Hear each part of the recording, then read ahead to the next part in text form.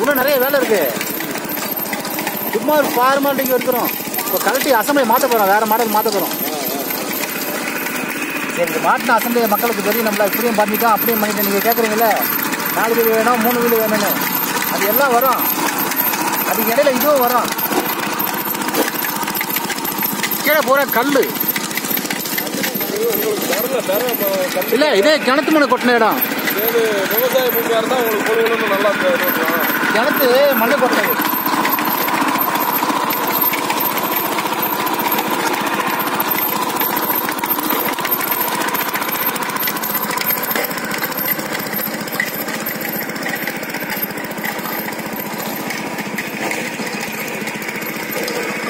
அப்படியே வச்சு எடுத்துட்டு